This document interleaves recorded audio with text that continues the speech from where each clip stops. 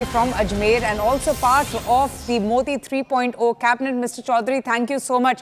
CNN News 18 से बात करने के लिए बहुत स्पेकुलेशन चल रहा है कि पोर्टफोलियो एलोकेशंस कब होने वाली है and when will we get to know कि किसको क्या मिल रहा है आपको कोई जानकारी है आपने अभी तक you know how is the feeling कल ओ टेकिंग सेरेमनी हुई है so how are you feeling about it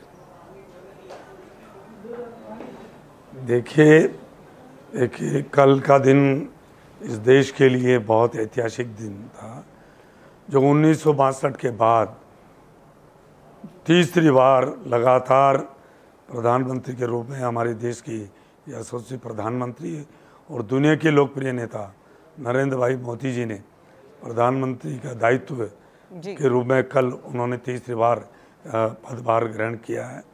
Modi ji का जो एक विजन है कि इस देश को विकसित राष्ट्र बनाना है। उन्होंने 10 साल की नीतियों को उठा के देखी। गरीब को गणेश मानकर उन्होंने काम किया और उससे हमारा देश तेज़ी से विकास की ओर आगे बढ़ा है। आ, पहले कहते थे कि ये देश सपेरों का देश है ये देश गरीबों का देश है। यहाँ व्यक्ति भूखे सोते हैं परंतु तो आज वो सारी वो जो इस तरह की एक धारणा थी वो सारी बदली है। आज देश जो जो ग्यारहवें पायदान पे था 2014 के पहले, आज आर्थिक रूप से पाँचवें पायदान पे है। और मैं दावे के साथ कह सकता हूँ कि कल प्रधानमंत्री जी ने जो शपथ ली है, तीसरी बार प्रधानमंत्री बनने की, अब ये देश तीसरी शक्ति के रूप में आर्थिक रूप से तेज़ी से बनेगा और वो दिन दूर नहीं जो ये देश परम वैभव पर पहुँचेगा। मोदी जी का सपना है कि ये देश विकसित राष्ट्र बने। और जी मगर ये तो गणेश मानकर कोई डाउट ही नहीं है that the prime minister taking oath जो सेरेमनी है वो बहुत ही हिस्टोरिक और मोमेंटस है। मगर थोड़ा सा चेंज तो है। ये जो गवर्नमेंट बन रही है ये फॉर द फ़र्स्ट टाइम दस सालों में अपने आप से पूरी मेजोरिटी से नहीं बन रही है and it's taking the support of allies आपको कि आपको क्या लगता है ये जो ये ऑपोजिशन कहती है ये जो गवर्नमेंट है ये स्टेबल नहीं रहेगी। आपका क्या कहना है इस पर? देखिए मैं ये कह सकता हूँ कि ये जो प्रधानमंत्री जी का जो तीसरा कार्यकाल है जो एनडीए की सरकार है ये सबसे मज़बूत सरकार बनकर उभरेगी और मोदी जी का जो रोड मैप उन्होंने सौ दिन जी जी जो एनडीए की जो सरकार है ये सबसे मज़बूत सरकार बन के उभरेगी क्योंकि मोदी जी का विजन ही है सबका साथ सबका विकास सबका विश्वास और सबके प्रयास के मूल मंत्र के आधार पर। जो दस साल में उन्होंने काम किया मैं आज मैं बताऊँ आपको शौचालय बना उन्होंने कोई जाति पार्टी धर्म नहीं देखा। उन्होंने गैस सिलेंडर दिया कोई जाति पार्टी धर्म नहीं देखी। हम्म। उज्ज्वला जन उन्होंने जनधन खाते के तहत करोड़ों माताओं बहनों के ज़ीरो बैलेंस पे खाते खोले और जो पिछहत्तर प्रतिशत हिंदुस्तान की जनता बैंक के दरवाजे तक नहीं पहुँची थी। मोदी जी ने उन सबको अवसर दिया और करोड़ों माताओं बहनों के ज़ीरो बैलेंस में खाते खोले। किसान सम्मान निधि करोड़ों किसानों को किसान सम्मान निधि देने का काम किया।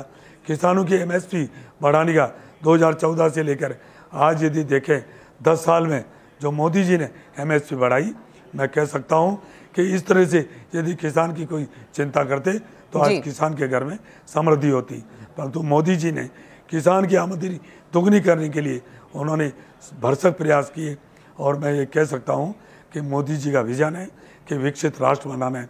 आपको पता है देश में पहला ऐसा नेता हुआ जो गुजरात के मुख्यमंत्री रहते हुए और देश के प्रधानमंत्री रहते हुए एक दिन का अवकाश लिए बिगैर क्षण क्षण पल पल इस देश के लिए इस देश को आगे बढ़ाने के लिए जो उन्होंने जो जीवन समर्पित किया है उसी का प्रतिफल है। कि जो ग्यारहवें पायदान पे था वो देश आज पाँचवें पायदान पे और वो दिन दूर नहीं तीसरी बार प्रधानमंत्री बने।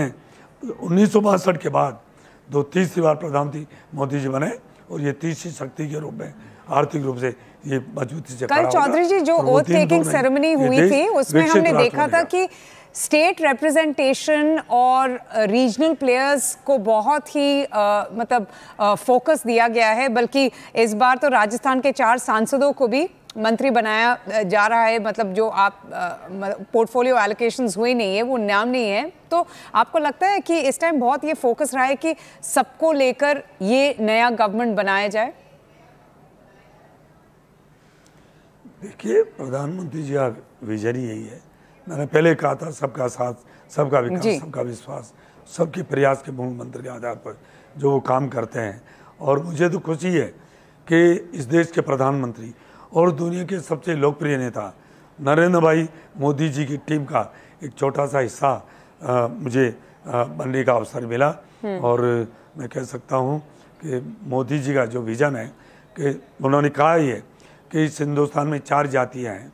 एक गरीब है एक किसान है, एक युवा है, एक महिला है।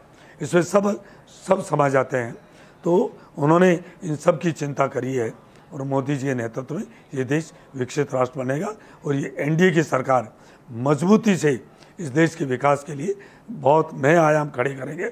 मैं तो इतना और कहता हूँ कि आने वाले चौबीस से उनतीस, ये जो पाँच साल है, विकास की दृष्टि से स्वर्ण अक्षर में लिखा जाएगा, जिसको दुनिया देखने आएगी इस हिंदुस्तान के लिए। All right. Thank you so much, Mr. Bhagirat Chaudhary there, speaking to CNN News 18 and sharing his uh, views about the new union cabinet under the Prime Minister Narendra Modi 3.0 and also the oath-taking ceremony. In fact, he is the MP from Ajmer. He has also uh, taken the oath yesterday at the swearing-in ceremony that took place outside Rashtrapati Bhavan.